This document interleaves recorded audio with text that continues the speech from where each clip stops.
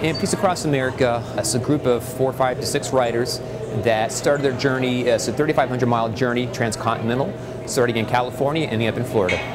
We've had to battle winds up to 35, 40 miles an hour all through Arizona, New Mexico, and Oklahoma, and the panhandle of Texas. And the heat was tremendous. I think the hottest day we had was 113. It's just a off-the-rack trek bike. Anybody can buy one. And someday I'll have a nicer one. purpose of the Amputees Across America ride is to bring public awareness on folks with disabilities, in this case amputees, that you can overcome any obstacle. New amputees should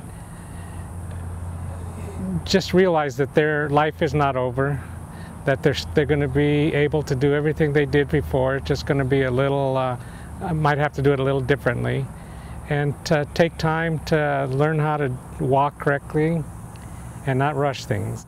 There's 19 HealthSouths in total on this close to two month journey here. They will stop at each hospital, talk with the staff at each hospital, the amputee support groups that attend these, these events, get basic inspiration.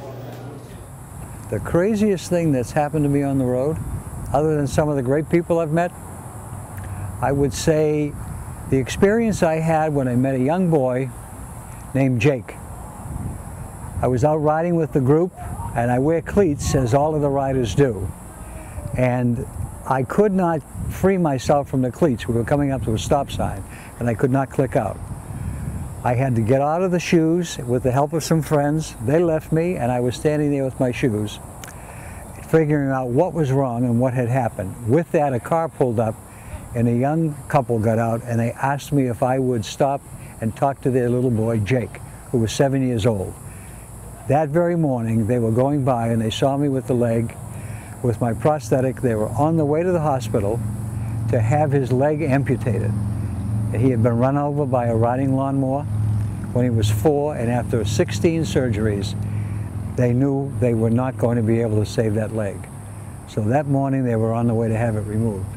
I spent about 10 or 15 minutes with Jake, and he went on his way and all I could think about was him and when I got back into my cleats and clicked back in they actually came free immediately and have worked perfectly ever since. So I call that the little miracle that happens in your life.